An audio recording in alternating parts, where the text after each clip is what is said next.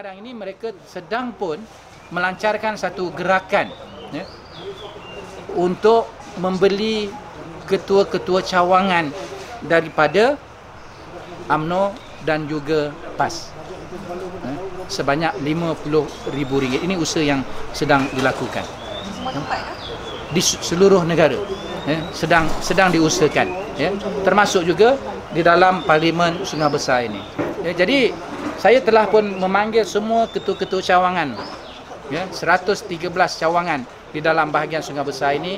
Dan saya maklumkan kepada mereka kalau ada ejen-ejen Tun Mahathir ini datang jangan tolak duit tersebut ambil duit tersebut. Kalau dia nak bagi RM50,000 ambil. Tetapi jangan sekali-kali kita meninggalkan perjuangan daripada UMNO ini. Kerana duit RM50,000 ataupun seberapa jumlahnya yang ditawarkan kepada ketua-ketua cawangan ini, duit tersebut adalah hasil rompakan samunan Tun Mahathir curi duit rakyat kita sebenarnya. Dia simpan keluar negara dan sekarang ini dia nak gunakan untuk pilihan raya. Jadi ini permainan kotor.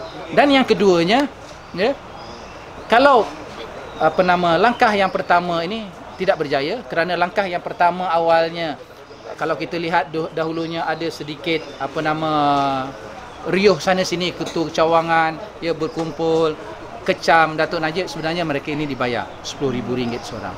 Tetapi tidak berjaya jumlahnya terlalu kecil. Dan sebahagian besarnya ketua-ketua cawangan ini pun dah kembali kembali kepada AMNO itu sendiri. Yang ini langkah yang kedua menawarkan RM50,000. Dan langkah yang ketiga kalau tidak percaya pertama, kedua, yang ketiganya akan menggunakan duit yang banyak ini untuk membeli wakil-wakil rakyat yang menang. Ya. Termasuklah DUN dan juga parlimen. Di dalam negeri Selangor ini mereka fokus DUN. Sekarang ini ya saya mendapat maklum ya gerakan secara besar-besaran telah pun ditumpukan di Kedah.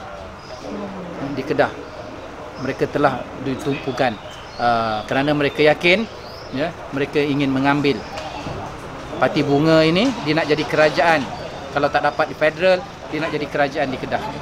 Dan di Selangor pun ya sedang menyusup. Sedang menyusup. Saya telah pun dihubungi beberapa ketua cawangan. Ya saya nasihat kepada mereka ambil. Tetapi jangan sekali. Dia kata kalau dah ambil nanti macam mana? Kena ugut dan sebagainya.